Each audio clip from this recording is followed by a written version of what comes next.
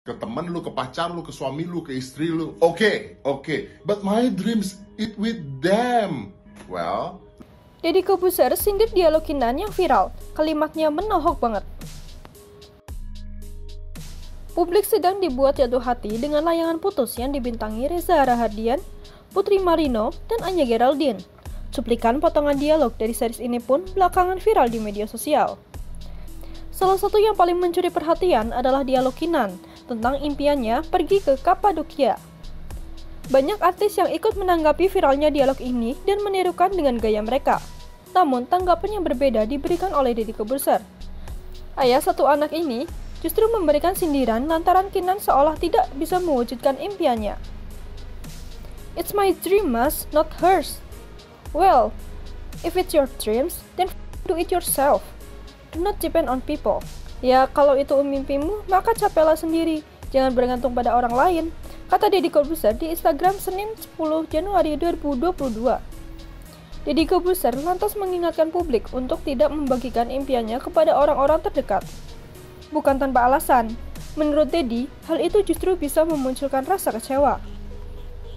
Kalau lu punya mimpi, punya cita-cita, and you know what? Don't share to people ke temen lu, ke pacar lu, ke suami lu, ke istri lu, lanjut jadi Kobuser. Oke, okay, but my dream is with them. Well, lu kecewa bukan gara-gara lu nggak dapat mimpi lu. Lu kecewa karena terlalu banyak berharap sama orang lain. If it's your dream, get it yourself. Pungkasnya. Unggahan Deddy Kobuser tentu menuai perhatian di media sosial. Beragam komentar diberikan oleh netizen untuk menanggapi opini yang disampaikan oleh ayah Azka Kobuser itu. Jepret. Dengerin, jangan berharap pada manusia, berharap hanya kepada Allah ya, kata netizen. Dan akhirnya sang master ikut-ikutan yang sedang viral walau dalam bentuk yang berbeda, tapi intinya sama, kena virus layangan putus, imbuh yang lain. Cara pandang Om terlalu beda dari yang lain, celutuk akun lainnya. Marahi Om. Gedek juga lama-lama, komentar netizen lagi. Best parody ever. Sambung yang lain. Sementara itu, Deddy Corbuzier juga menambahkan keterangan lain di caption postingan tersebut.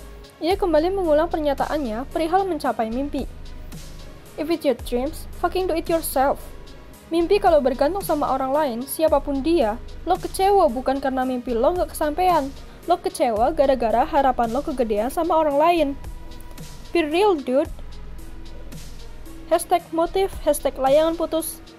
Ya beli lagi. Pungkasnya.